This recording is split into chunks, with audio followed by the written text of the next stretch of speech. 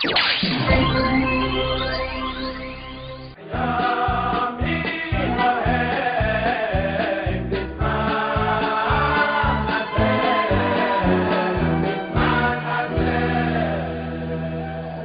te preocupes, si mis cien mil hombres no fueran suficientes, tengo un arma secreta que los aterrorizará.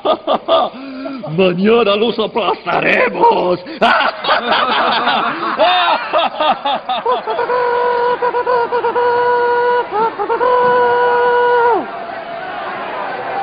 ¡Avancen en! ¡Diez monedas de oro por cada judío muerto!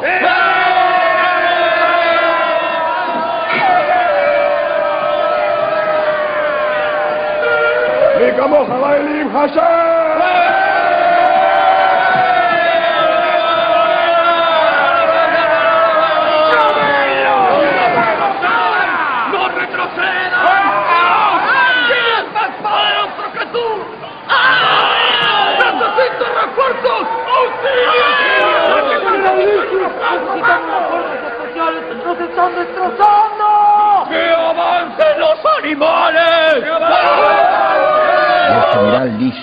Hizo entrar en batalla una fuerza arrolladora que paralizó a los macabeos.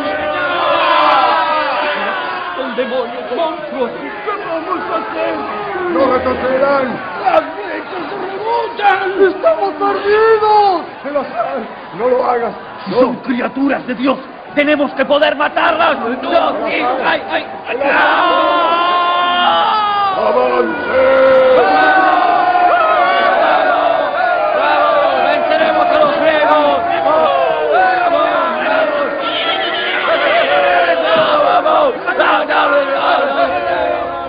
Finalmente Yehuda logró llevar a los pocos judíos que quedaban vivos a la victoria. Ese fue el primer milagro de Hanukkah, pero hubo más milagros. Peleando, combatiendo, combatiendo, Yehuda reconquistó el templo de Jerusalén.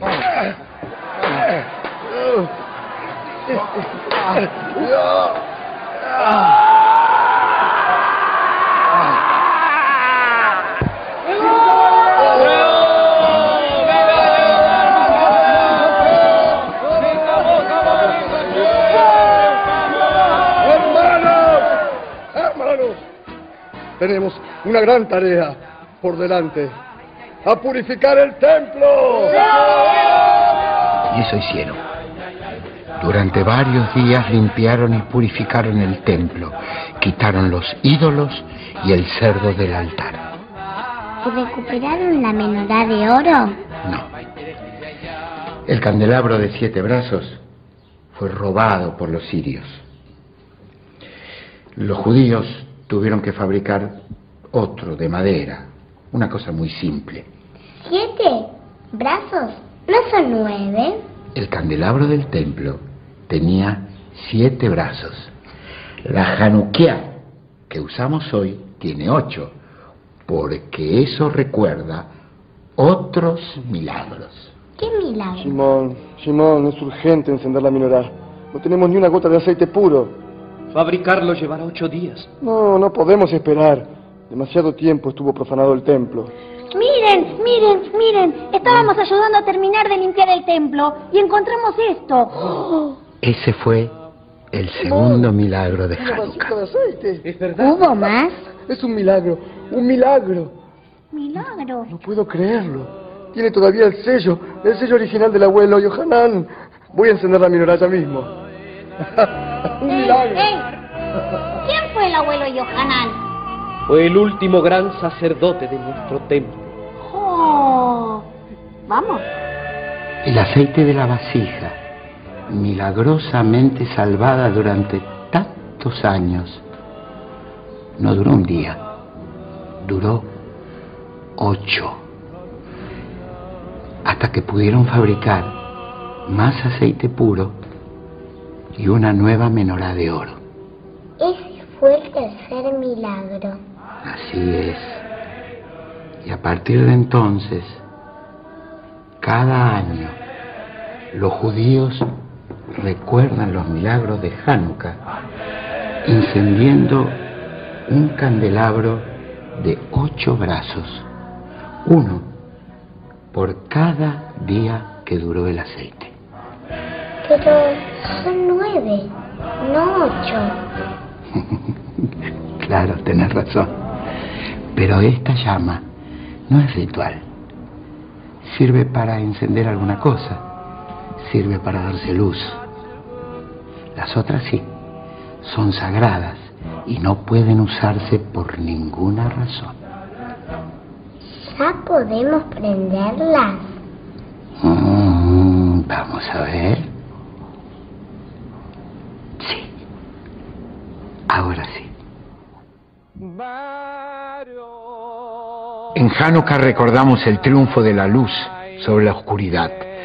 Más que los triunfos militares, recordamos la eternidad de la enseñanza. La luz es espiritualidad. La oscuridad son los límites materiales. El aceite. La costumbre de comer comida frita viene de ahí.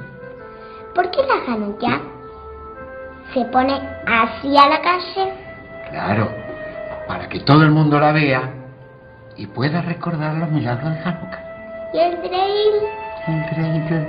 El Dreidel es para recordar a esos chicos que estudiaron la Torá a pesar de la pena de muerte. ¿No te estás olvidando de Hanukkah? No, no me olvidé. Regalar dinero a los chicos hace recordar la importancia de la caridad. ¿Seguimos jugando al drill? ¿Seguimos jugando al drill? Gimel. Sí.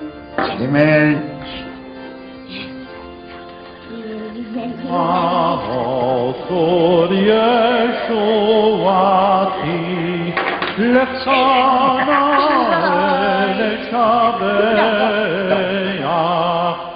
Ahora cuesta otro به شام گودان زابه